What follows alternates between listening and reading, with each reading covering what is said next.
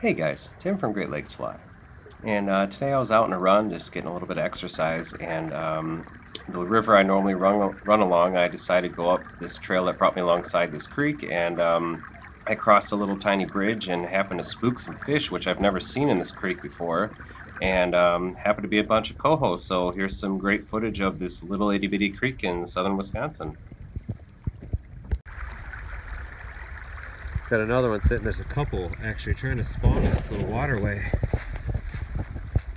I've never seen salmon up in here before, so we got a nice run on. These are mostly coho.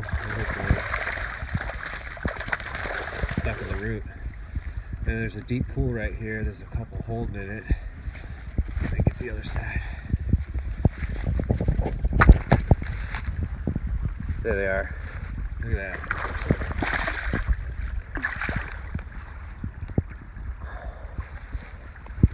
About, I'd say only 100, 150 feet I've spotted. There's more up there. There's been about 10 fish I've seen. Never seen them in this creek before.